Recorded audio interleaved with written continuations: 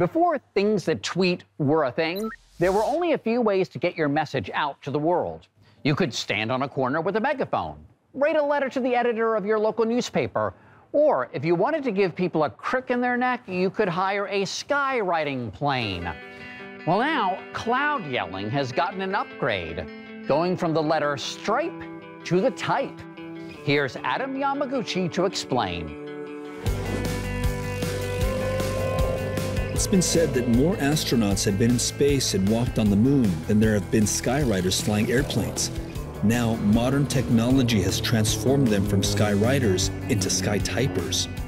And one family has kept this acrobatic art form alive and thriving. I flew in a regular plane to Chino, California to meet Stephen Stinis, third generation skywriter and innovator of today's digital skytyping capability how long has SkyTypers been in existence? It's been around for 80 years. Started in the late 30s with my grandfather, and I'm third generation. How has it evolved over the decades? Originally, it was with one aircraft. Each aircraft would form a letter by twisting and turning, like you would a pen, writing down on a piece of paper. We write it upside down and backwards, like in mirror image, so you can see it right side up.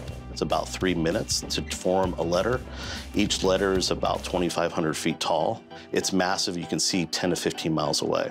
My grandfather was like, there's got to be a faster way to do this. So we came up with the process of multiple aircraft in a formation flight that everyone puffs at once, for example, would create an eye in the sky. Now we're doing sky typing, and it's done every four seconds a letter is created.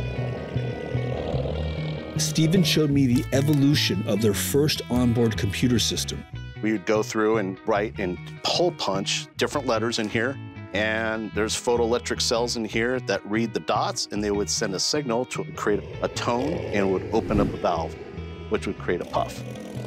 And it would open up these series of puffs that would form giant letters in the sky. Wow. And that's how it was done. That's in the 60s. And then what do we have here now? We're a wireless network computer system. That's the beauty of the innovation today. It's digital.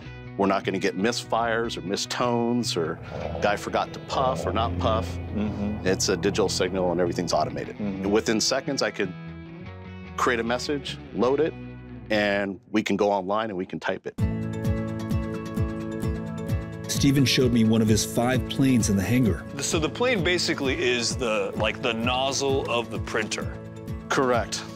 World's largest typewriter in the sky. Get a, get a seat. Wow. When you're in this plane in the sky, do you miss the old school writing as I opposed do. to just the typing? I still do the skywriting. With technology, talent, and precision, we can still be wowed every day.